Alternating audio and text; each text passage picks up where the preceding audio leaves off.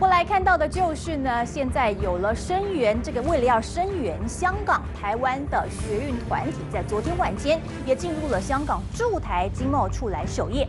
三一八学运的领袖陈维霆、林非凡要求港驻台办主任出来面对，还发生了推挤、冲办公室等等的冲突。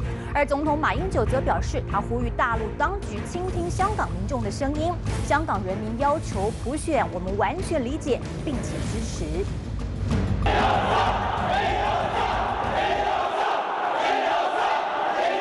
支援香港战中抗争民众，台湾学运团体二十八号晚间进入香港驻台办事处，短短几个小时，零星冲突不断。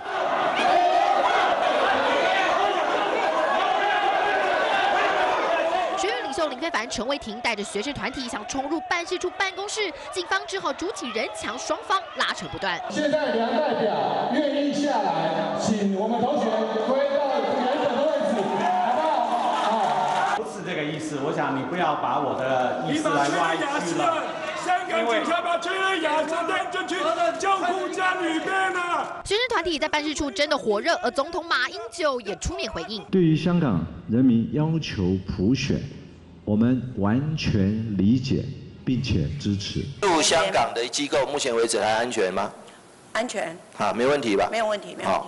目前旅游警报还未警示，但提醒民众已爆发流血冲突，最好尽量不要前往。记者综合报道。